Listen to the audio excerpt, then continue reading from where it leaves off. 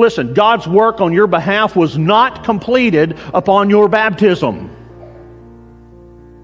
God didn't just start things off and leave it all up to you. This is why he says what he does here. God is going to carry it on to completion. This might be a good word to write down completion and what it means. And by the way, the wording here is kind of in an intensified form that means to fully complete to fully complete. And the God who began that good work will certainly not allow it to end in nothing, but he the promise here is is that he is going to bring it to full completion. Oh boy, that that should be a major relief. How many of you struggle with recurring sin and temptation? Doubt, anxiety, Many of you may have been Christians for decades, and still there are things that trip you up. Your flesh is real, and it, it fights back when you start trying to live for the Lord. Look, can we, can we all identify with that? And some days we could say with Paul, Wretched man or wretched woman I am, who will deliver me from this body of death?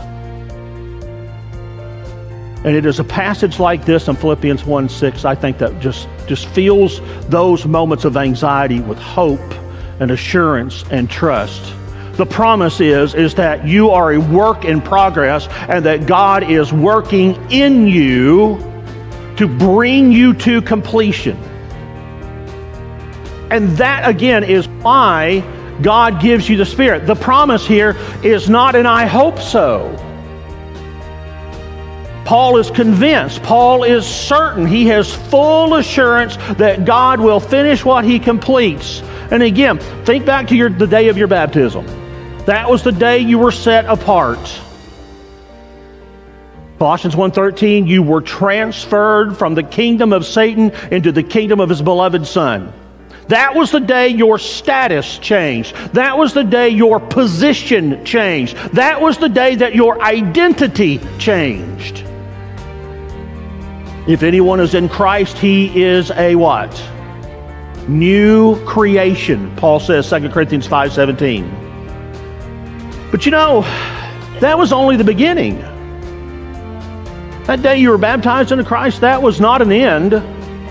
That was just a beginning. And now the real work lies ahead. And what is that work? That work is the task of becoming more and more like God in righteousness and holiness. And listen, God has laid that responsibility upon us all. We have all been called to imitate the moral character of God. Listen to this passage.